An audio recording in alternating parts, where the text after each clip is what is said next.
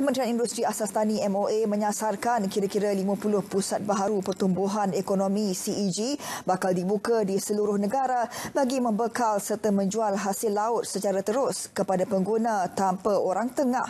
Menteri Datuk Salahuddin Ayub berkata menerusi inisiatif itu, harga jualan dapat distabilkan dan pengguna menikmati pengurangan harga sehingga 30% berbanding harga biasa. Jelasnya usaha itu melibatkan kerjasama dengan Kementerian Perdagangan Dalam Negeri dan Ehwal Pengguna, Kementerian Pembangunan Usahawan serta beberapa pihak swasta.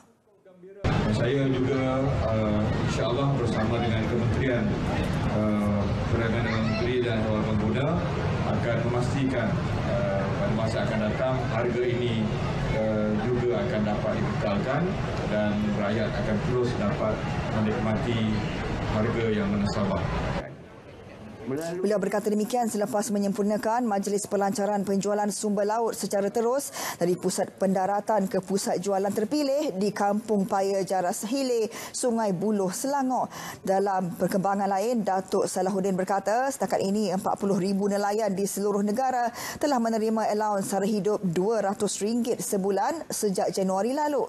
Jumlah penerima dijangka akan bertambah berdasarkan proses pemutihan yang sedang dilakukan kementerian.